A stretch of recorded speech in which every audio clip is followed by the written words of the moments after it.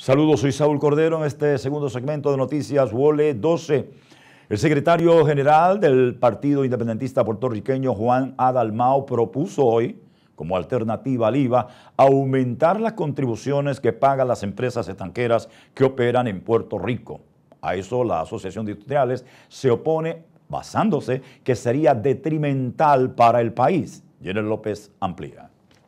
Al igual que el PNP, el PIB se opone al IVA con la diferencia, según Juan Dalmau, de que el PIB tiene propuestas. Una de ellas, aumentar las contribuciones a las empresas foráneas, que se llevan más de 37 mil millones de dólares en ganancias fuera del país. Que todos los actores económicos paguen contribuciones balanceadas y en justicia. Por ejemplo, aquí hay empresas extranjeras que se llevan del país 37 mil millones de dólares en ganancias y pagan apenas un 2%, algunas son absolutamente exentas, pagan cero.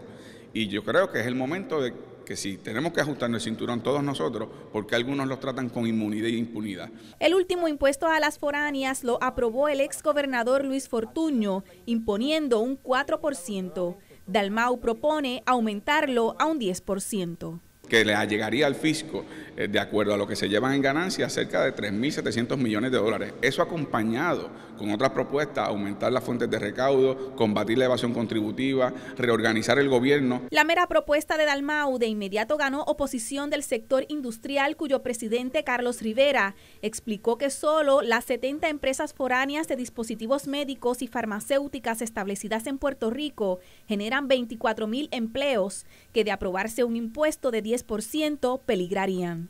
Sí te digo ¿verdad? que cualquier cosa que empeore el costo de hacer operaciones en Puerto Rico, mientras otras jurisdicciones los están abaratando o están haciendo lo indecible por regresar manufactura a sus respectivos países, como por ejemplo son el mismo Estados Unidos y lo es Italia, pues entonces si nosotros seguimos una línea eh, que no vaya necesariamente en esa corriente, pues vamos a tener una ventaja vamos a perder ventaja competitiva y tengo la impresión eh, de que una propuesta como esa no tengo la impresión, estoy seguro, eh, haría mucho más oneroso el hacer operaciones en Puerto Rico, que ahora mismo es bastante difícil mantener las operaciones aquí. ¿Generaría eso pérdida de empleo? Bueno, cualquier cosa que eh, si tú pierdes una porción de tu negocio, porque sea más competitivo en otra jurisdicción significa que esa parte se tiene que ir completa, incluyendo los empleos. El sector industrial de Puerto Rico aún no tiene una posición oficial sobre la propuesta del gobernador en torno al impuesto al valor añadido IVA, pero entiende que lo que se imponga debe estar acompañado de un plan de desarrollo económico que genere mayor número de empleos. Para Noticias Wole 2 se les informaron Luis Pérez y Ginette López.